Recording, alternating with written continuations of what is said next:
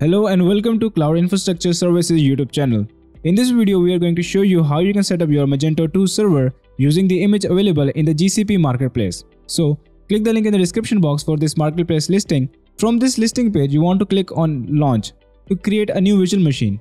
Then you will be taken to this page where you can customize your virtual machine. So, give your virtual machine a name, choose the region, choose the disk size, and when you're satisfied with the setting, simply accept the agreement and click on deploy.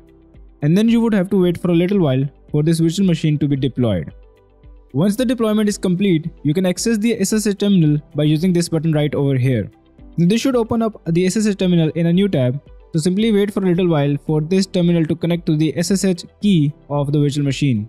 So from here, you want to click the link in the description box for the blog post that contains the step-by-step -step guide because we would be copying some commands from there. So as you can see that the very first step is to create a MySQL database for Magento installation. So we need to configure the MySQL installation. So copy the command which is sudo mysql secure installation. Go back to the SSH terminal, paste the command and hit enter. It would ask you for the current password of the root which is blank so simply hit enter and then configure your MySQL database and make sure to give a new root password. Once that is done, you want to create a new database and a new user for that database for Magento installation. So come back to the blog post and copy these commands by the way, if you want to name your database something else, you can simply replace this Magento 2 keyword. And if you want to change the name of the user, then simply replace this keyword. So copy the commands, go back to the SSH terminal, paste those commands and hit enter. So now you're done with setting up your MySQL database. Now what you want to do is that you want to head over to Magento's website and create an access key. So click the link in the description box.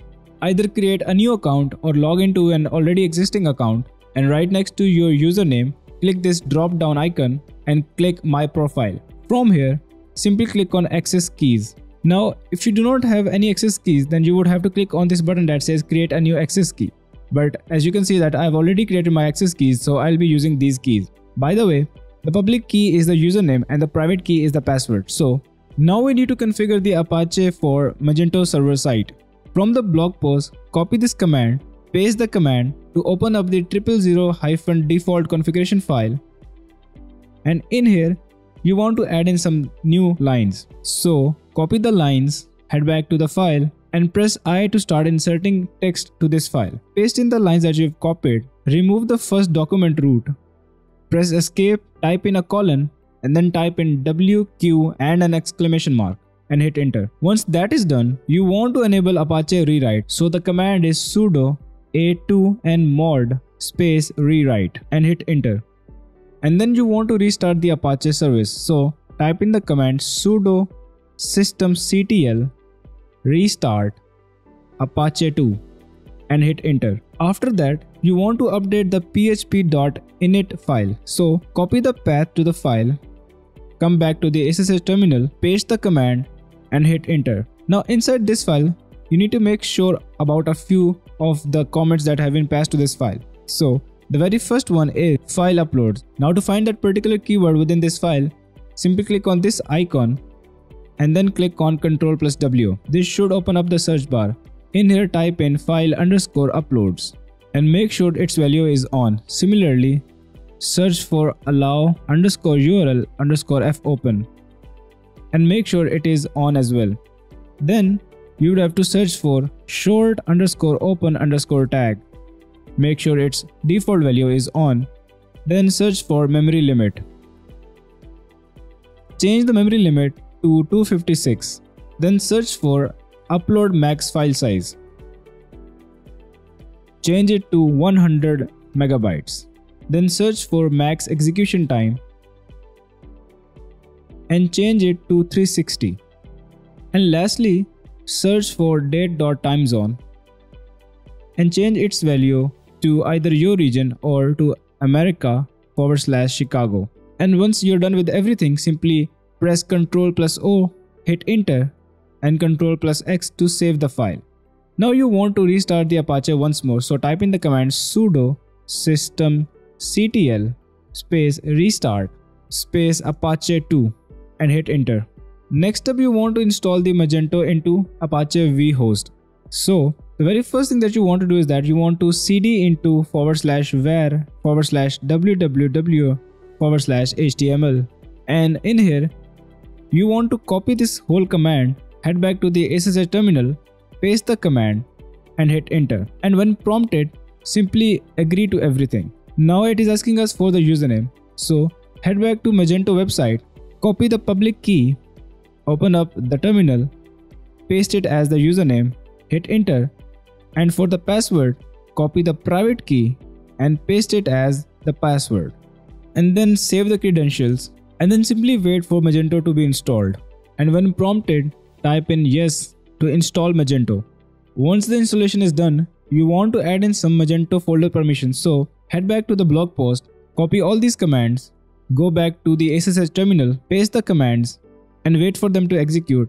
And at the very end, hit enter. And then you want to type in a command sudo systemctl space start space elasticsearch and hit enter. After that, you want to enable Elasticsearch. So the command is sudo systemctl enable Elasticsearch and hit enter. After that, what you want to do is that you want to configure and install Magento. So head back to the blog post, copy the first two lines and paste them inside the SSH terminal. But make sure to change the link to your website to the IP address of the virtual machine. Now to get this IP address, go back to console.google, click on this hamburger icon, scroll down, click on compute engine and then VM instances. From here, you want to copy this external IP address and paste it inside the SSH terminal. Then head back to the blog post and copy the commands from line number 3 to this line which says db password. Come back to the SSH terminal, hit enter and paste the next lines. Now the thing is that you want to give the database password. So if I go back to my blog post and scroll up a little, you can see that while configuring my MySQL, I gave a password which was your password. So I'm going to go back to my SSH server and replace this phrase with your password and hit enter. And then you want to copy all the next lines, paste them in the SSH terminal and simply hit enter. Now you're going to wait for a little while for the Magento server to be configured and installed in your virtual machine. Now once that is done, you want to type in a command for cron installation to automate some important job. So the command is sudo space bin forward slash magento space cron colon install and hit enter. Once that is done, head back to console.google, copy the IP address of your virtual machine, paste it inside a new tab. Now as you can see that I am able to access my home page but I want to head inside the admins page. So for that, I'm going to head back over to my SSH terminal and in here I can see an URL extension for my admin homepage. So I'm going to copy this, add it to my virtual machine's IP address and hit enter. Now you can see that it is asking us for the username and the password. So as you can see, the username and the password were given in these lines. So the credentials are admin and admin123. So head back to the virtual machine and type in the username as admin and the password as admin123 and hit enter. Now you might get an error about the two-factor authentication. So you can either bypass this authentication error or you can go with it and fulfill it. But for the sake of this tutorial, I am simply going to bypass this. To disable that two-factor authentication or authorization, simply copy this command and paste it inside the SSH terminal and hit enter. After that, you can head back to your virtual machine and revisit the admin page.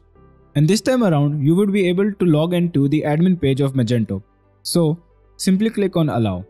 So that is it for this video. If you have any queries regarding this tutorial, make sure to leave them in the comment section below. And make sure to check out the links for the image of Google Cloud Marketplace and for the step-by-step -step blog post guide. And if this video has helped you in any way, make sure to leave a like and subscribe to the channel.